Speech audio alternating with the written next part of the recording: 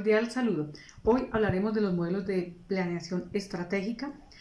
Esta es una herramienta de gestión que permite establecer el qué hacer y el camino que deben recorrer las organizaciones para alcanzar las metas previstas, teniendo en cuenta los cambios y demandas que impone su entorno. El modelo número uno que vamos a abordar es el conocido como Balance Scorecard.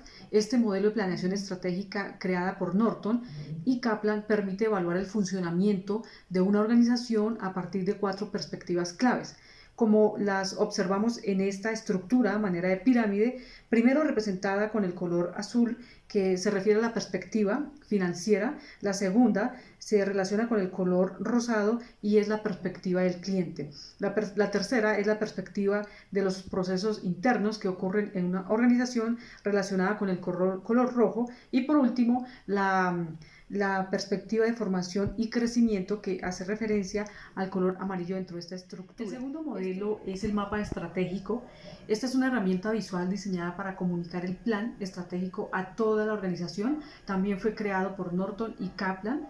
Eh, se visualiza en pirámide y funciona de manera inversa a la anterior, dando prioridad a la perspectiva de formación y crecimiento eh, que se relaciona o representa con el color amarillo. En segundo lugar está la perspectiva de los procesos internos.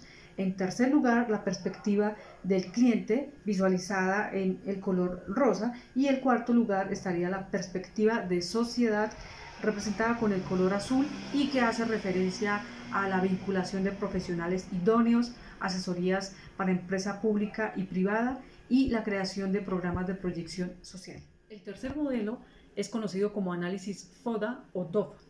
Este modelo se basa en el análisis interno de las características de la organización.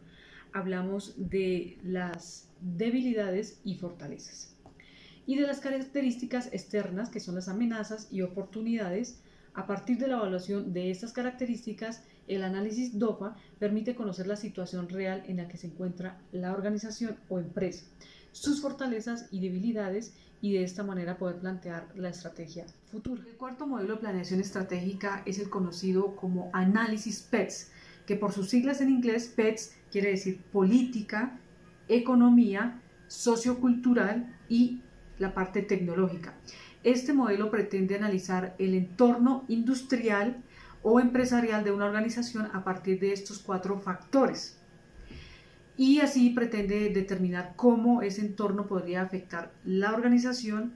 Usualmente este tipo de análisis PETS se usa dentro de las características externas del análisis DOFA, que fue el que presentamos anteriormente.